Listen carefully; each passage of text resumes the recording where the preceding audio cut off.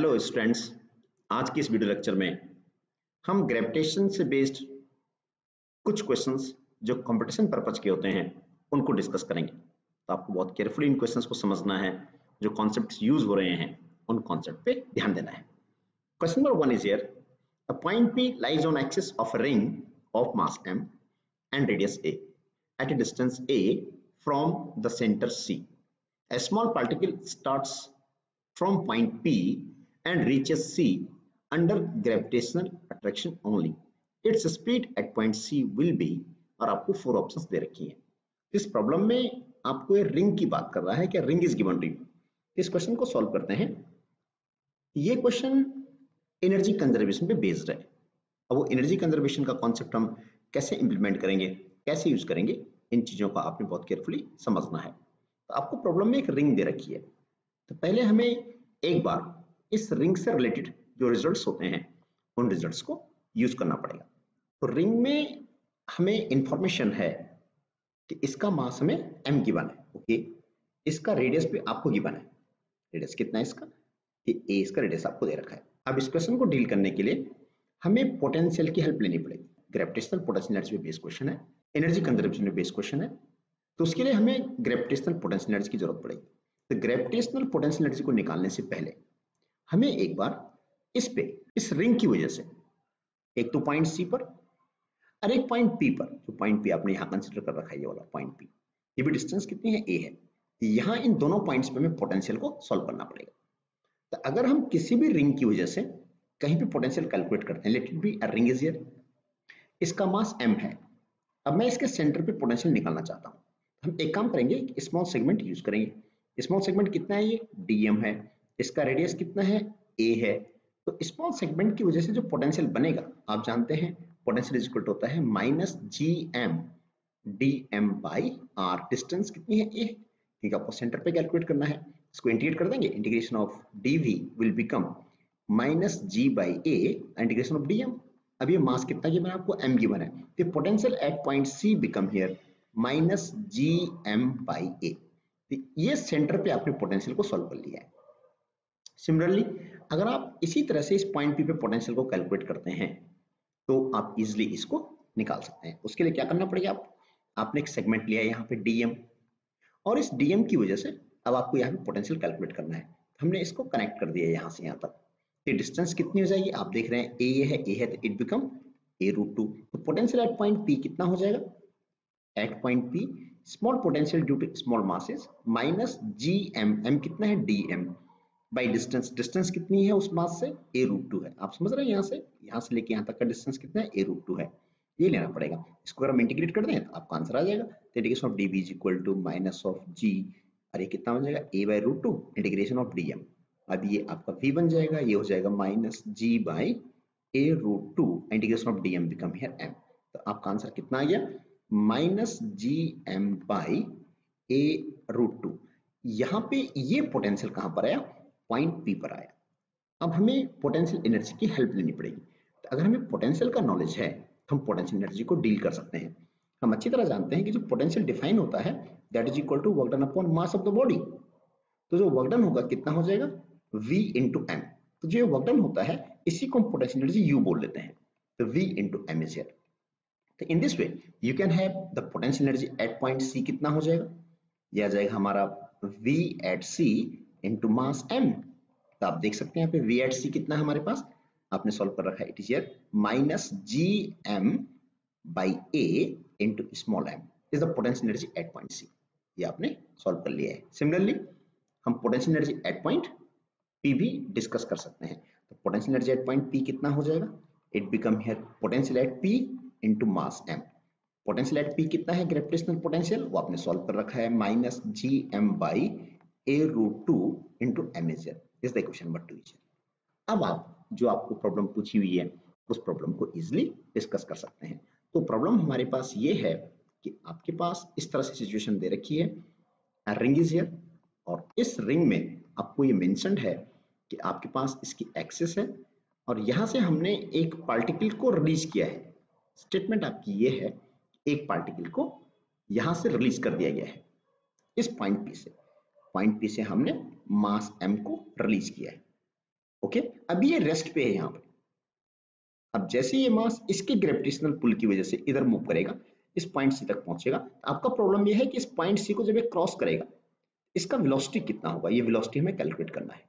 तो हम यूज़ कर लेंगे energy conservation. Kinetic energy at point P, starting point, plus gravitational potential energy at point P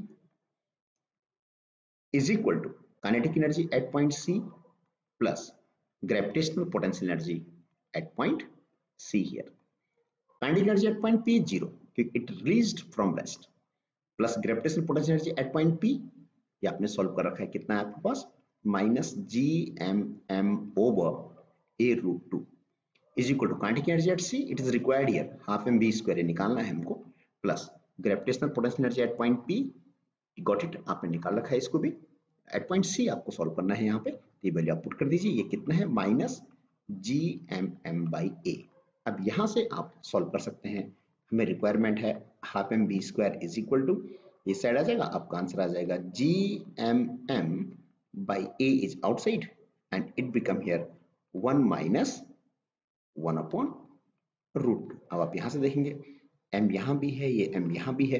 तो v square आप यहाँ से कैलकुलेट कर सकते हैं तो v square comes out to be two G M by A one minus one upon root two तो v become here under the root of 2gm by a and it is here 1 minus 1 upon root.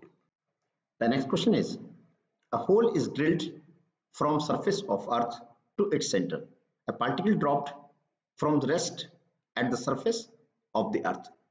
The speed of particle when it reaches the center of earth in terms of its escape speed on the surface of earth ve is your options are a option is v by 2 b is ve c option is under root 2 ve and d option is v by root 2 it's not a different question और इस question में अभी हमने जो previous question discuss किया था identical वही concept हम यूज़ करेंगे एनर्जी कंजर्वेशन पे बेस्ड क्वेश्चन है earth is mention to you. Earth का सेंटर है let the point is C ये अर्थ का सरफेस है। और इस सरफेस से क्वेश्चन ये बोल रखा है उसने यहाँ से हमने एक बॉडी को यहाँ से ड्रॉप करना है। इसका मास m है। यहाँ से इसको ड्रॉप मीन्स रेस्ट पे बॉडी को हमने यहाँ से रिलीज़ कर दिया है। आपका क्वेश्चन ये है कि when this body reaches the centre of earth यहाँ जब ये क्रॉस करेगा सेंटर ऑफ़ अर्थ को क्रॉस करेगा, इसका वेलोसिटी कितना हो जाएगा? ये वेलोसिटी हमें कैलकुलेट करना है। The question is again based on energy conservation तो इसको सॉल्व करने के लिए हम डायरेक्टली एनर्जी कंजर्वेशन को यूज़ कर लेंगे। एक ए पे रहेगा और एक सी पे लगेगा ये अर्थ हमारे पास है। अब आपने ए पर जो एनर्जी हम यूज़ करेंगे, ये all know very well it is kinetic energy at point A plus gravitational potential energy at point A is equal to kinetic energy at point C and gravitational potential energy at point C अब यहाँ पे आप अच्छी तरह देख रहे हैं कि यहाँ पॉइंट ए तक जो अर्थ का जो मास है mass of earth is capital M that know very well mass of earth मैंने कितना ज्यूम कर दिया यहाँ पे? Capital M mass of earth है। जो बॉडी हम कंसिडर कर रहे हैं, उसका मास एम है। तो रेडियस कितनी है अर्थ की? It is your capital R ये आपने यूज़ कर लिया। इस वैल्यू को यूज़ करके अगर हम यहाँ पे पुट करते हैं kinetic energy at point A कितना रहेगा? It will be zero plus gravitational potential energy at point A minus gmm by r. That you know very well is the potential energy at surface of the earth is here. Plus kinetic energy at point c is equal to आपको c पे kinetic energy निकालनी है half M B square plus gravitational potential energy at point C C is the centre of earth अब ये सबसे important point है इस question का कि आपको सेंटर ऑफ़ अर्थ पे ग्रेविटेशनल पोटेंशियल एनर्जी की बात करनी है। तो आपसे मैंने अभी डिस्कस किया था कि gravitational potential energy is equal to work done और वर्क डन जो हम सॉल्व करके निकाला था अभी हमने, आप जानते हैं potential v is equal to work done upon mass therefore work done is equal to v into mass और वर्क डन यही क्या बन जाएगा? पोटेंशियल एनर्जी u बन जाएगा at point c is equal to potential at c into mass m. तो earth के लिए सेंटर पे जो पोटेंशियल होता है, एक इंपॉर्टेंट रिज़ल्ट आपको बिल्कुल याद होना चाहिए कि अर्थ के सेंटर पे एट सेंटर तो अर्थ के सेंटर पे जो पोटेंशियल होता है, उसकी वैल्यू होती है minus three by two G M by R is to be kept in mind ये कांस्टेंट होता है minus three by two G M by R तो यहाँ पे अगर हम इस पोटेंशियल की वैल्यू रखेंगे तो आपका आंसर बन जाएगा minus three by two G M M by R is the potential energy at point C ये वैल्यू हम यहाँ पुट कर देंगे तो आपका आंसर कितना हो जाएगा? Minus three by two G M M by R अब इसको हम सॉल्व कर सकते हैं। It is your half M V square जो आपको कैलकुलेट करना है इज़ इक्वल टू ये वैल्यू इधर आ जाएगी तो आपका आंसर कितना आ जाएगा? Three by two G M M by R इसको हम यहाँ यूज़ कर सकते हैं minus G M M by R ये आप सॉल्व कर दीजिए, कितना बन जाएगा? Half M V square is equal to one by two G M M by R जब हमने एस्केप स्पीड को डिस्कस किया था तो वहाँ पर एक इंपॉर्टेंट रिज़ल्ट मैंने आपको दिया था कि जो G M M by R होता है, ये half M V square escape speed में जो काइनेटिक एनर्जी बनेगी, उसके बराबर होता है हाफ़ एम वी स्क्वायर ये वैल्यू आप यहाँ पुट कर दीजिए तो आपका आंसर आ जाएगा half M V square is equal to of half and it is your half M V square half M is your half M is your cancel out हो जाएगा, और आपके सामने जो रिज़ल्ट बनेगा, वो बनेगा V square is equal to V square by two and in this way the velocity at point C comes out to be V by root two it is the answer तो इस question को समझने के लिए आपको एक important result जो यहाँ से मिला है, वो यही है कि सेंटर ऑफ़ अर्थ पे पोटेंशियल एनर्जी कितनी होती है। तो होती है minus three by two G M M by R in this way your correct option is D here is the answer